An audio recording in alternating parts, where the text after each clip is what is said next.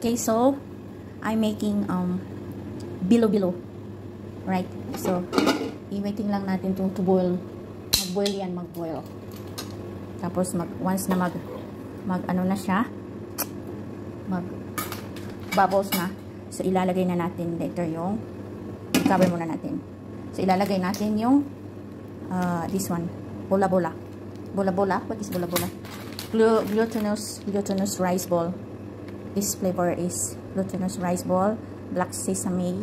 Tapos yung isa is what? Gluten, glutinous rice. Red bean naman to. Red bean yung flavor niya.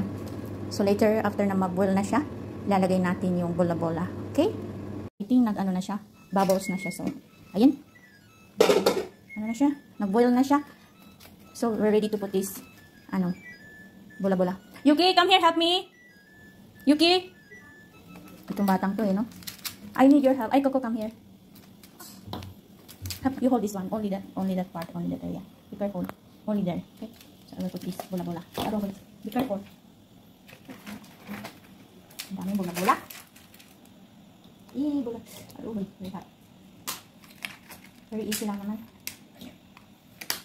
This Yuki favorite. Tapos, I'm asking Yuki to help me. Dun, focus mo lang dyan sa So that's my bola bola. Okay? So after that, I'm going to put because I already got uh, sugar, brown sugar. So now I'm gonna add um what do you call this? Coconut milk.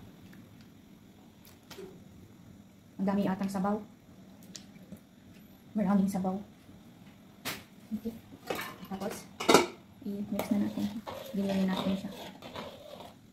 So waiting lang natin na mag-sticky. This one very nice if we have all the banana or potato rice, uh, potato, potato, what? Sweet potato, banana, but we don't have that one, so only this one. But very simple, but I like it. Okay. Ang laki ng ano. So, big man yung bilo-bilo. Uy, nag, ano na lumabas na yung ano. I think it's, ah, laki. Ang bilog niyo, laki. I think okay na yan. So, try ko na to. Okay, so that is the finished product my bilo-bilo. So, this is the red bean. And this is the sesame. So, try na ko. Try ko. Try, try, try. Okay, masarap siya. Hmm. Sarap.